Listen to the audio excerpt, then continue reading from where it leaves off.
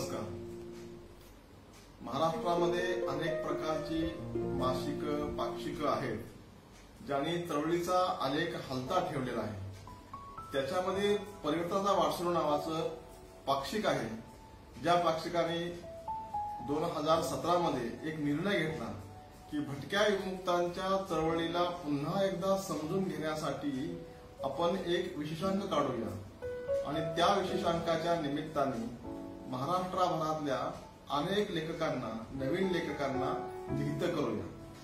तर त्या प्रयोगाचा एक भाग म्हणून आमचे प्रशांत कुंटे मित्र संपादक अभय कांता विनायक लष्कर प्रज्ञादया पवार आणि स्वतः मी आम्ही पुढाकार घेऊन महाराष्ट्रातल्या जवळजवळ पन्नास ते साठ नव्या लोकांना लिहित केलं.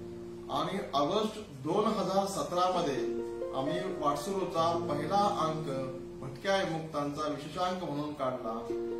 अजून लेखकांना लिहितं केलं त्यानंतर पुन्हा अजून लेखकांना लिहितं केलं असे तीन अंक विशेषांक काढले. सप्टेंबर ऑक्टोबर नोव्हेंबर दोन हजार सतरा मध्ये असे अंक आमचे येत गेले. आणि त्या अंकाचं जे पुस्तक बनलेलं आहे ते पुस्तक म्हणजे हे विमुक्तांचे स्वातंत्र्य हे पुस्तक. हे पुस्तक आपण बघता आहात विनायक लष्कर डॉक्टर नारायण भोसले आणि प्रज्ञा दया पवार यांच्या संपादनातून तयार झालेलं हे पुस्तक आहे. या पुस्तकामध्ये सव्वीस लेख आहेत. त्यांचे वेगवेगळे विषय आहेत. आपण ते पाहणार आहोतच. पण त्यासोबतच या पुस्तकाच्या विषयी ख्यातनाम अभ्यासक गणेश देवी यांनी आपलं मनपृष्ठावरचा मजकूर दिला आहे. ते म्हणतात इंग्रजी अंमलाने भारतीय समाजावर अनेक बरे वाईट परिणाम झाले केले. त्यातला सर्वात विघातक सामाजिक परिणाम म्हणजे गुन्हेगार जमात. या संकल्पनेचा झालेला उद्भव. अठराशे एकाहत्तरमध्ये गुन्हेगार जमातीविषयीचा कायदा करण्यापूर्वी जवळजवळ चाळीस वर्ष स्लिमन नावाचा इंग्रजी अधिकारी व जमातीचा अभ्यास करून त्यांनी या कायद्याच्या विषयीची पार्श्वभूमी तयार केलेली होती. त्या यादीच्या आधाराने अठराशे एकाहत्तरच्या काळ्या कायद्यात या जातींच्या प्रजेला देखरेखीखाली किंवा चक्क कुंपण बंद कैदेत टाकण्यात आले म्हणजे लॉकडाऊन करण्यात आले.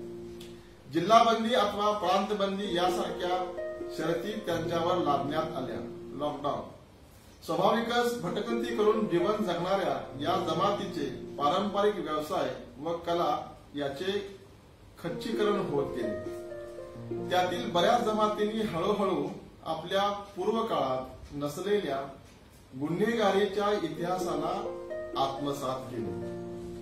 स्वातंत्र्यानंतर ही परिस्थिती बदलायला हवी होती पण तसे घडले नाही. गेल्या अर्धशतकात त्यांच्या अधिकारासाठी वेगवेगळ्या चळवळी होत आल्या आहेत.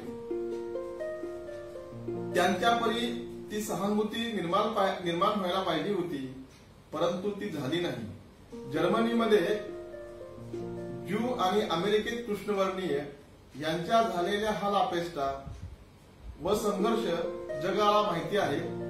त्याच्यामुळं वाटसरूंनी घेतलेल्या या उपक्रमाला डॉक्टर गणेश देवी यांनी शुभेच्छा दिलेल्या आहेत आणि या पुस्तकाचं महत्त्व अधोरेखित केलेलं आहे.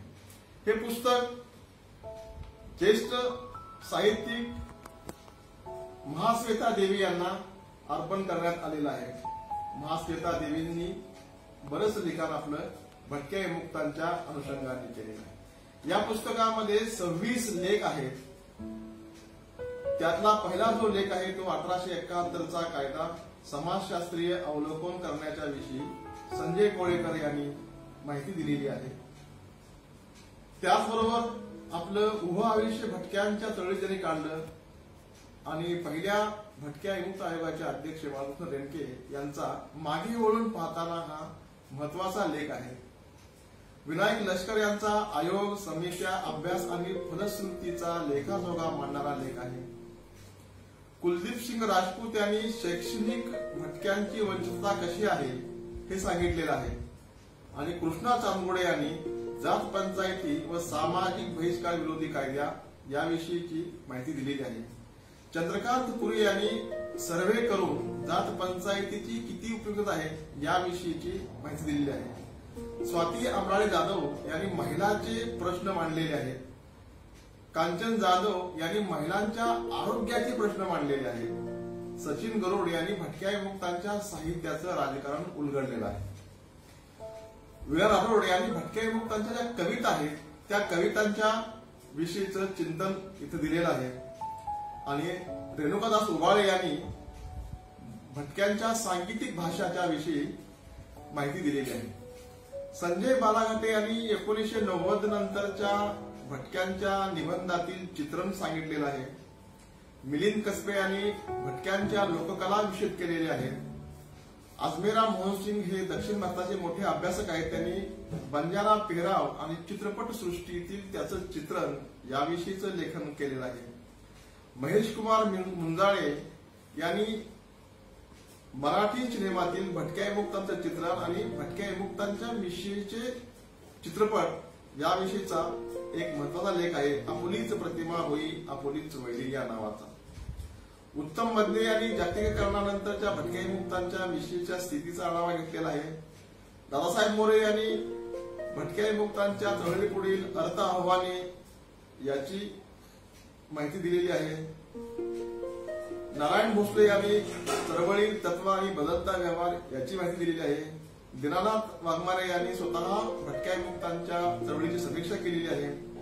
सुधीर येवले यांनी मसनजोगी समाजाची माहिती दिलेली आहे. सुरेश जाधव यांनी गायकाडी जमातीचा अभ्यास यात मांडलेला आहे. आणि सुजाता गोटेस्कोर यांनी पारधी समाजाच्या विषयीच्या आंदोलनाची माहिती दिलेली आहे. अरुण भाऊ विषयी प्रशांत कुंटे यांनी लिहिलेलं आहे. आणि बांधिलकी या संस्थेची माहिती प्रतीक पुरे यांनी दिलेली आहे. त्याशिवाय या पुस्तकामध्ये या सव्वीस लेखकांचा परिचय सुद्धा करून देण्यात आलेला आहे. स्वातंत्र्य मिळाल्यानंतर सत्तर वर्षामध्ये भटके मुक्तांवर काय काय प्रकारचा अभ्यास झाला या अभ्यासाचा लेखाजोखा म्हणजे हे प्रस्तुतचं पुस्तक आहे. आपण हे पुस्तक घ्यावं? ते अमेझॉनवर बुकगंगा डॉट कॉम वर इंटरनेटवर आणि स्वतः वाटसरूच्या कार्यालयामध्ये आपल्याला हे पुस्तक मिळेल. ऑनलाईन मिळेल ऑफलाईन मिळेल. कृपया या पुस्तकाची मागणी करावी. भटक्या विमुक्तामधल्या अभ्यासकांना हे पुस्तक वेगळ्या प्रकारची साथ घालतं. नमस्कार.